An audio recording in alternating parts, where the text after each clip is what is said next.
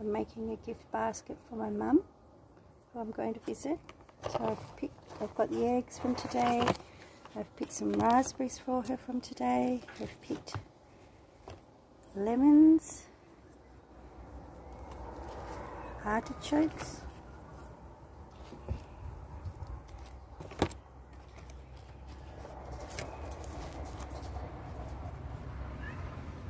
and um, different herbs. This is fennel and raspberry leaf.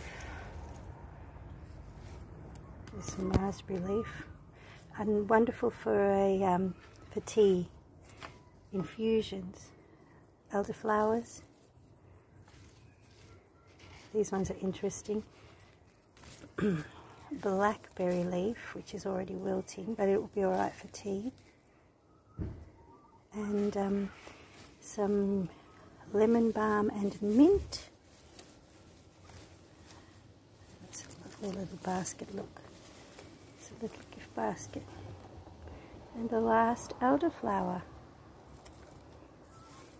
Mm. And that's it. Little basket for my mum. Here's another lemon. Stick another lemon in there. Room for some more lemons. And that's it.